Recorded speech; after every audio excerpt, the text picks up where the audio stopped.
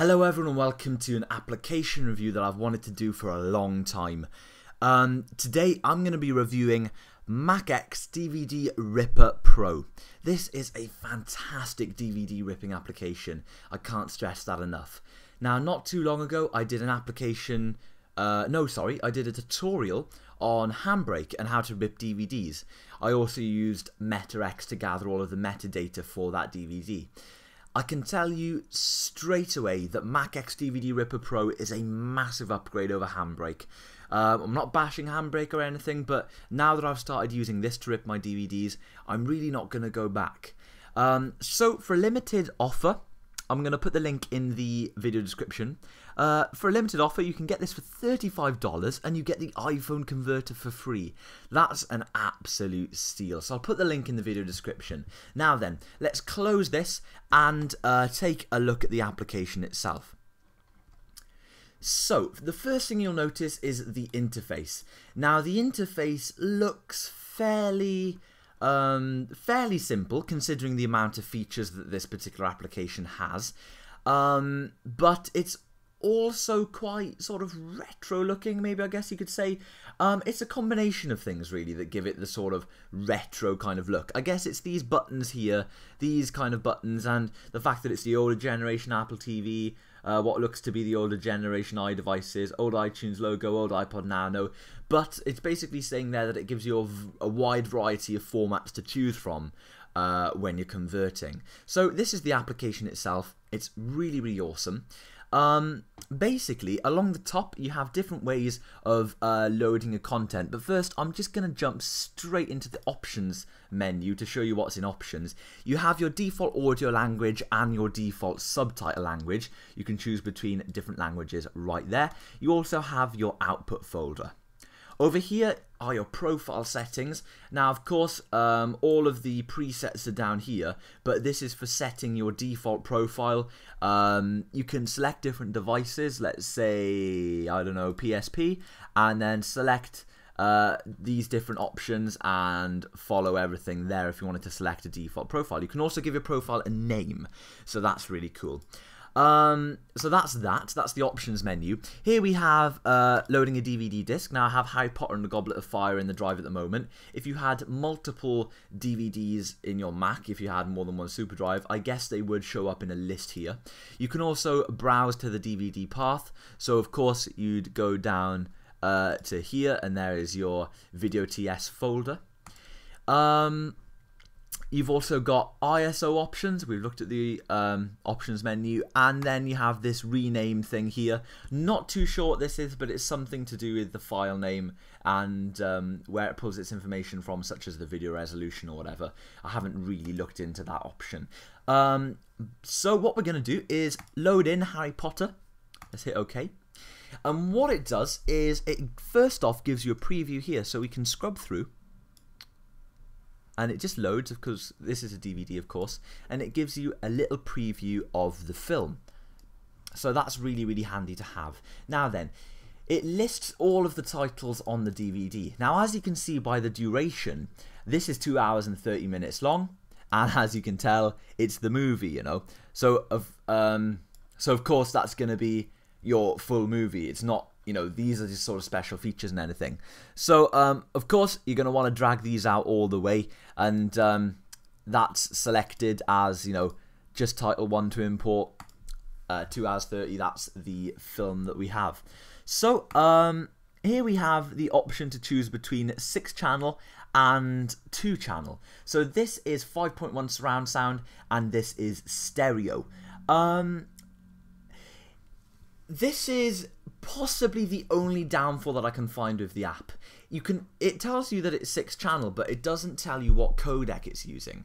Um, when I was ripping with Handbrake, I think this is a far better application. But when I was ripping with Handbrake, um, you got to choose between uh, six channel discrete, uh, Dolby, just regular Dolby surround sound, uh, as in Dolby Digital, Dolby Pro Logic, Dolby Pro Logic 2, uh, DTS. You got to choose between all of those different codecs. Here, at least you can choose uh, surround sound. That's the main thing. So of course I want to rip that in six channels because I've got a home theater system.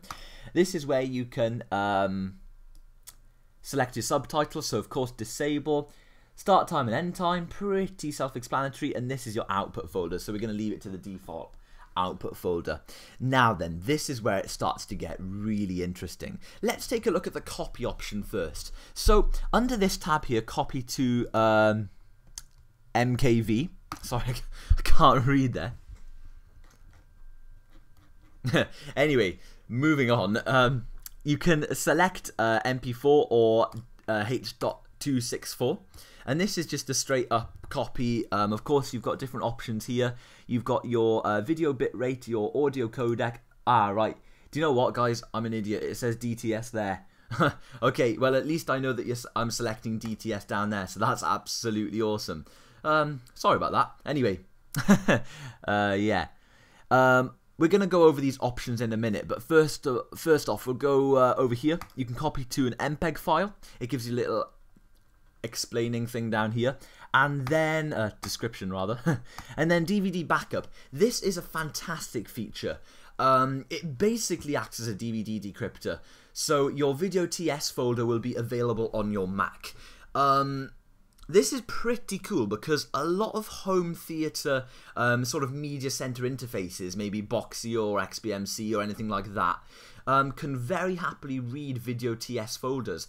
And ripping the video TS folder is a fantastic way of um, getting the full quality out of your DVD and not encoding it at all. So that's a really good option if you do have that kind of playback facility. But of course, I'm an iTunes user, so I use the iTunes tab. Uh, before we go to iTunes, you've got the simple MP4 tab. They're very, very similar. Um, you know, you've got all the different things up here. You can you can tell that these are you know, really similar. Look at the options. Um, to music, I believe this just rips the soundtrack. Um, everything else is self-explanatory. This bottom bit here is sort of device central. It focuses on devices. So you've got iPhone and Apple TV, and you can choose um, the different iPhone generations, which is really cool. Uh, along with the Apple TV, of course. So, um, yeah, that's very handy. Now then, what I'm going to do is, um, you can see all of these are pretty much the same. You're going to be looking at all the different types there. You know, easy stuff. It does everything, you know, Android, it does the whole hit. Um, but let's just go to iTunes because I haven't really looked into these. I don't really copy device specific um, videos because I don't put my videos on devices. So um, that's not really my kind of thing. But this is where it gets interesting for me. So um, I'm going to stick that up to 320 and that is basically me good to go. Use high quality engine, awesome stuff. Uh, format, we're going to go H.264 and I'm pretty much ready to go. You can put in your own custom resolution over here once you change this option, but that's absolutely fine. Now down here, you can select um, how many cores it uses when it um, encodes the DVD. So if I want to use my Mac for a lot of things at the same time, I can limit this to four cores or two cores. Obviously, it's going to take longer. But the fantastic thing about MacX DVD Ripper Pro is the fact that it's fully multi-thread compatible. So um, I can use all eight of my cores. Brilliant. It means I can get a really fast encoding time. Um, yeah, that's fantastic. Uh, here we have a deinterlacing option. Force AV sync, so that's uh, syncing up the audio and video. Uh, if it's out of sync. And of course, we have safe mode. Now, um, safe mode is something to do with when you receive errors or something along those lines. I'm not too sure if I'm fully honest with you. But anyway, uh, awesome program. Let's hit start. And everyone take note of the start time. So we're just gone quarter to seven. And uh, we're going to see how long this takes. Now, bear in mind that I'm doing H.264 with very high quality audio, uh, six channel audio in DTS. And, um, oh, actually, actually, stop, stop, stop, stop, stop, stop, stop. Yes, I want to stop that. I want to actually look. Okay, that's no problem at all. All right, I'm going to start again. Anyway, um, yeah, so that's the, the application. While that's doing that, I'm going to show you, um, if I haven't already, because this is my second take of the video. I don't think I've shown you Doom. But anyway, if I have, you can look at it again. Um, I ripped Doom, which, by the way, isn't the best film in the world, but it looks fantastic. Really, really nice, solid DVD rip, and it's going to look great when I put it in iTunes. You really In can't fault 20 it, and the file size is pretty small as well. So this is what it looks like. Get any information from it? It also sounds wonderful. I've got six channels rocking out on here, and it'll sound lovely when I use it with my surround sound system. Nice bit of blood and guts there was there.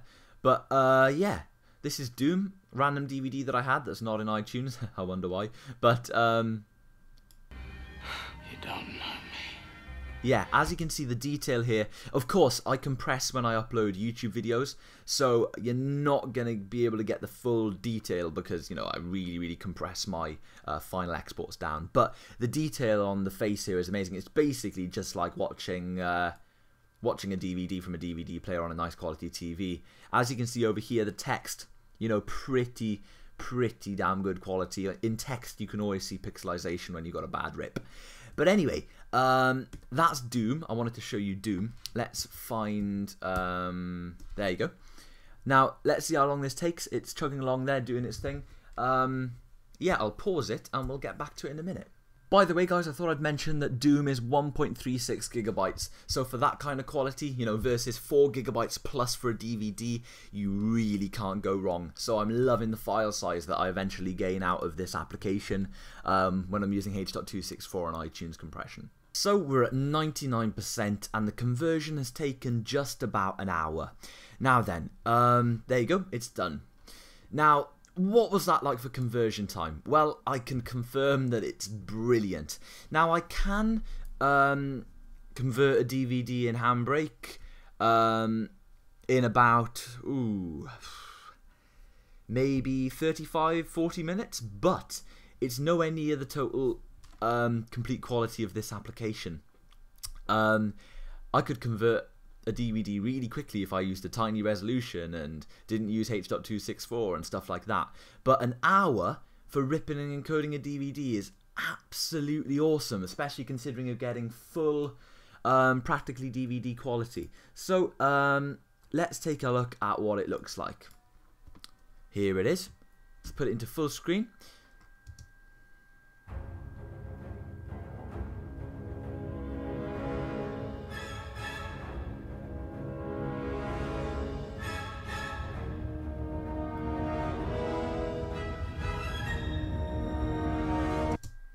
I've just paused there to show you that the quality is really nice.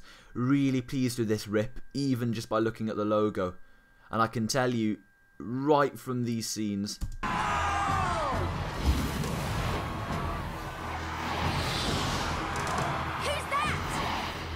yeah, the this looks fantastic. Really, really good. So it's a very long film. So the file size, um, if we exit out of that, let's check out the file size. Extremely pleased with that for the quality. You can't go wrong. This application is top notch. So, um, I know it's been a little bit spread out, what with the conversion and everything, guys, and I'm sorry for that, but this has been my review of MacX DVD Ripper Pro. It's a fantastic DVD ripping software. I know I keep saying how brilliant it is all the way through the video, but um, I love having high quality films in iTunes. Now, I don't really care about resolution. Uh, my projector isn't high def, so, you know, getting everything in 1080p and Blu-ray and everything isn't really a concern of mine. My concern is just to get a fantastic looking uh, DVD rip with nice, rich, vibrant colours and no pixelization and no graininess. And that's exactly what I get from ripping a DVD with this application. It's just as good as watching the DVD directly from the DVD drive using DVD player. And if I say the word DVD one more time, I'm gonna go mental. But anyway, thank you very much for watching my review of MacX DVD Ripper Pro. I'll leave a link to this program in the video description. I highly recommend you download it. And um, if anyone wants to see an updated full tutorial on ripping DVDs, then I can probably get that out in the next few weeks or the next couple of months, um, but revolving around this application instead of Handbrake. So again, thanks for watching, and I'll see you in the next video.